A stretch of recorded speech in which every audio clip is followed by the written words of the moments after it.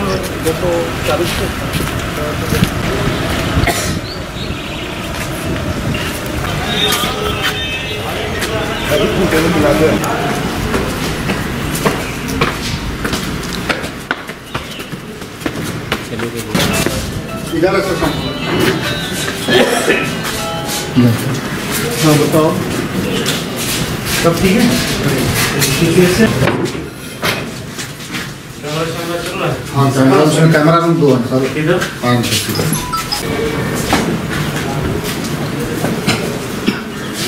एक ये है इसमें आधा कमरों पे इसमें सबकी रिकॉर्डिंग चल रही है? हाँ है सबकी हर कमरे की सर।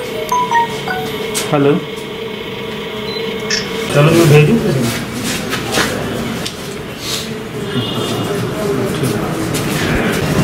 हाँ। नहीं दो मॉनिटर है जैसे जो पंद्रह पंद्रह तीस। पंद्रह इधर है पंद्रह उधर। नहीं सर सोलह सोलह इसमें। हाँ, सोलह सोलह। नहीं कमरे टोटल कितने? टोटल पंद्रह ने कमरे। यूज़ किया है पंद्रह। अच्छा कमरे तो आपके पास कैमरे तो बहुत है। थर्टी टू है तो सब कैमरे के प्रोसीडिंग में ही हो रहा है।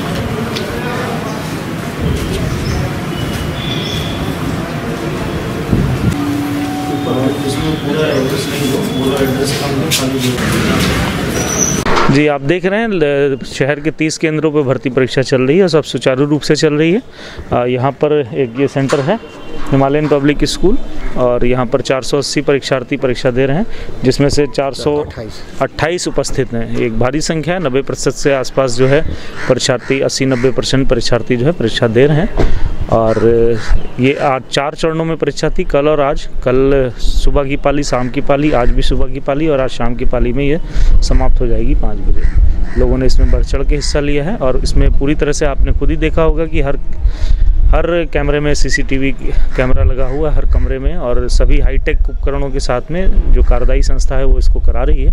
एक निष्पक्ष और स्वतंत्र एजेंसी इसको करा रही है। पुलिस का इससे कोई लेना लोकल पुलिस का कोई इसमें ले, लेना देना नहीं है। हमारा काम है सुरक्षा प्रोवाइड कराना और न्याय और निष्पक्ष रूप से इसको सुचारू रूप से चलाना। नहीं फ़िलहाल कोई अनियमितता नहीं मिली है।